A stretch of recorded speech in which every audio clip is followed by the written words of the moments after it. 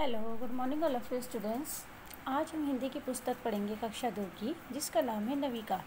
चलिए स्टूडेंट्स पुस्तक खोलते हैं ये स्टूडेंट्स आज हम करेंगे पाठ सात, विज्ञापन, नई सोच। पृष्ठ संख्या चवालीस। चलिए स्टूडेंट्स विज्ञापन यानी विज्ञापन को हम कहते हैं ऐड इंग्लिश में हम ऐड कहते हैं एडवर्टाइजमेंट जिससे हम अपनी चीज़ों को उसके अच्छे अच्छे गुण बताकर चीज़ों को बेचने की कला को विज्ञान कहते हैं। अपनी वस्तु के गुण बताकर उसे बेचने की कला ही विज्ञापन है। यहाँ कुछ फेरी वालों के चित्र दिए गए हैं। यदि ये आवाज़ ना लगाएँ तो क्या इनकी चीज़ें बिकेंगी? सोचा कभी आपने इस बारे में? फेरी वाले जब आते हैं, गली में आते हैं, रोड साइड पर खड़े होते हैं तो कितनी अपनी चीज़ों के बारे में अच्छे अच्छे उसके गुण बताकर उसकी चीज़ों, उन चीज़ों की लिए बेचने के लिए आवाज़ लगाते हैं, उनका विज्ञापन करते हैं, ताकि लोग सुने, आकर्षित हों और वो उनकी चीज़ खरीदने के लिए आए उनके पास। चलिए देखते हैं अब हम। सब्ज़ी वाला गली में ज़ोर ज़ोर से आवाज़ें लगा रहा था। लाल टमाटर, हरी हरी मटर, ताज़ी भिंडी ले लो। पुण्या सोचने लगी कि अपनी सब्ज़ी की कितनी विशेषता बता रहा है। पर जो भी हो, इतनी ज़ोर ज़ोर से अपना सामान बेचने के लिए चिल्लाना कितना कठिन है। तभी दूसरी ओर से एक फल वाला आया और वह गा रहा था, मिश्री हो रहे हैं खरबूजे रसगुल्ले जैसी लीची ले लो। अरे, यह भी खूब ज़ोर ज़ोर से आवाज़ें दे रहा है। आवाज़ सुनकर पुण्या उसके पास पहुँची और बोली, क्या है क्या है आपके पास?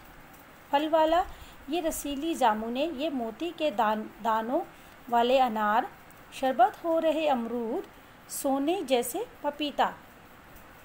बस बस, बाकी बस बस, बाकी लाल लाल सेब, चित्री वाले केले तो मैं देख ही रही हूँ। पुण्या बोली हाँ मलाई जैसे केले और गर्मियों की सौगात ये खुशबूदार आम भी बेजोड़ हैं। फल वाला तारीफ़ किए जा रहा था। एक किलो आम लेकर पुण्या घर आई। अब घर आकर उसने बड़े भैया से पूछा कि ये फेरी वाले गा गा कर अपना सामान क्यों बेचते हैं? भैया बोले, ये अपनी चीज़ों का विज्ञापन करते हैं, जैसे बड़ी कंपनियाँ टीवी, रेडियो पर विज्ञापन करती हैं। तुमने टीवी पर तो Coca Cola noodles face cream, scooter और ना जाने कितनी चीज़ों के विज्ञापन देखे होंगे। हाँ भैया, बड़े मज़ेदार होते हैं। वे उन्हें देखकर चीज़ों उन चीज़ों के लिए मन ललचाने लगता है। हाँ इसलिए तो विज्ञापन दिए जाते हैं, पर हमें इनके चक्कर में आकर फिजूल खर्च नहीं बनना चाहिए। ये हमारे खर्चे बढ़ा देते हैं और ख़ुद लाभ कमाते हैं।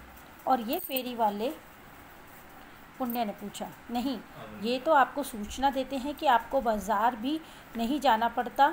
वस्तु को घर पर ही आप अपनी पसंद से जाँच परख कर सूंघ समझ कर ले सकते हैं।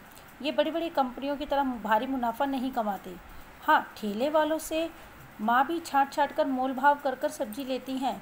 पुण्य रानी तुम्हें भी मज़ा आता है ना ऐसे ख़रीदारी करने पर? हाँ भैया स्कूल में हुई फैंसी ड्रेस में भी मैं साड़ी पहनकर सिर पर टोकरी रखकर फेरी वाली बनी थी। मुझे इनाम भी मिला था पुण्य ने बताया।